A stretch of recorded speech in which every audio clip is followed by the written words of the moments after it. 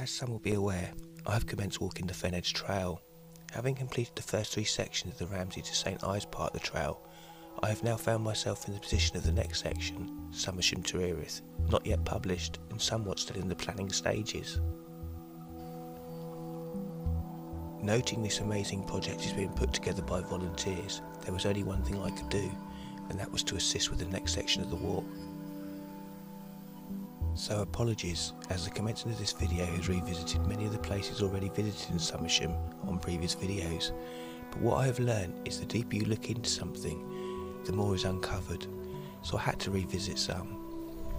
The links between geology, sociology, history and current daily life in the Fens reveal themselves the more you look, the more you discover and the more fascinating it becomes. For example, the two properties that we're now walking towards. First, a building that I think most of us living in the area have noticed at some stage or another, the timber-clad old tithe barn with the big hooks on the front. The neighbouring property, nothing special, just a normal looking home, until you dig a bit deeper. I've driven past these properties hundreds of times over the years, even walked past them on the Somersham to Warboys section of the trail, but what I didn't know until today, the old tithe barn was built around 1600s when the Bishop of Ely exchanged the manor of Soke of Somersham for crown properties.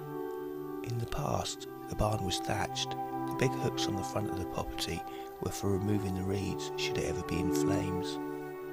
An evaluation of the home virtually next door, 100 High Street, by the AFU revealed a series of linear features containing medieval pottery, which corresponded to the property's boundaries marked on the 1927 OS map.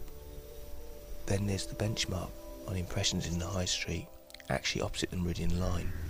Not surprisingly, I got a very strange look off a passerby while taking a picture of the wall, so I commented on what I was doing. Turned out the gentleman was a geography teacher, knew all about benchmarks, and had walked past this one countless times and never even noticed. Having parked my car in the free car park opposite the church and completed a loop through the churchyard and onto the high street, I soon found myself heading back down Church Street past the car park as I headed out of Somersham. After the double gated bridge we have just seen, the trail is meant to branch left and head back towards Somersham in order to visit the nature reserve and lake. However, if you carry a little further along the track, which is actually the Pathfinder long distance walk, you can reach Colne. Being aware the next section of the trail borders Colne as you head towards home sand and gravel pits just before arriving in Earith, and that of an old abandoned church, St Helens, also being there in the village. I got my OS map out and soon discovered there was also a moated site. I had no option but to explore this little tiny Fenland village a little further and maybe offer it as an extended part of the trail or even part of the walk itself. The old abandoned church, dating from the 13th to 19th centuries, was damaged in 1896 when the tower collapsed onto the church. The new St Helens Church was built in 1889 to 1900 using much of the stone from the earlier one. Most of the windows except the eastern window are medieval and from the earlier church.